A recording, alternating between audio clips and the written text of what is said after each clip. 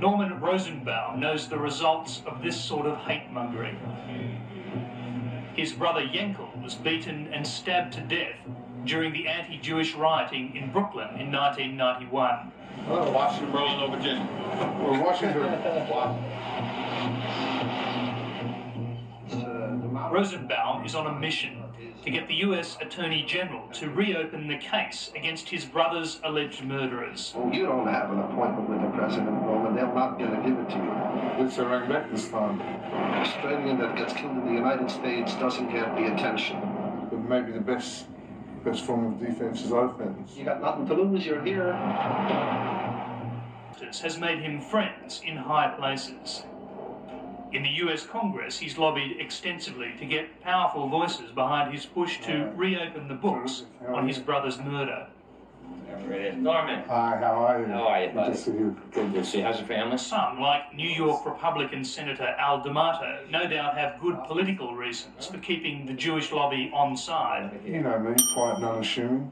But the access this Australian gets here is also due in part to fears of racial conflagration.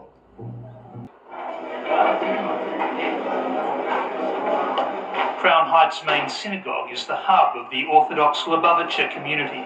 You come in at four o'clock in the morning, you'll find people here. Um, you'll see that people come in, they chat, say hello, they then go and pray, others go straight to prayer.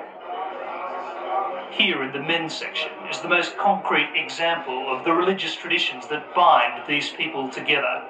One of the things that's obvious about this community, and you've noted it yourself, is that it takes pride in being different. Is it their distinctiveness that's made them a target? It's it's not so much their um, physical appearance and their identity per se which makes them a target. If anything, it's the envy and jealousy. For example, um, there, it's a community which shows initiative. It doesn't wait for the city to um, react to unemployment and welfare um, problems and issues. They do it themselves. the so-called Jew Holocaust. And I say so-called Jew because he's not a real Jew. He's a Johnny-come-lately Jew who just crawled out of the caves and hills of Europe just a few days ago.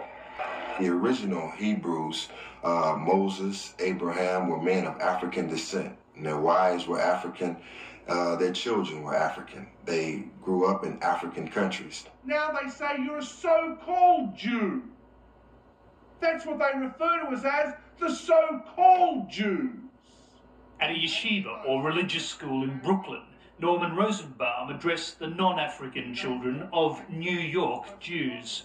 And they're saying that because what they're trying to do is build up the justification to physically attack us, to dehumanize us. And you know who did that last time? Adolf Hitler. Good evening. This is the truth hour. And don't you touch that dial. You stay tuned in to the truth hour. Don't walk out of here saying it can't happen to me. Don't start saying that it can't happen to anybody in my family. Don't start saying that I'm the last person in the world it could happen to because it's already happened to him. My brother Yankel was the last person in the world it could happen to.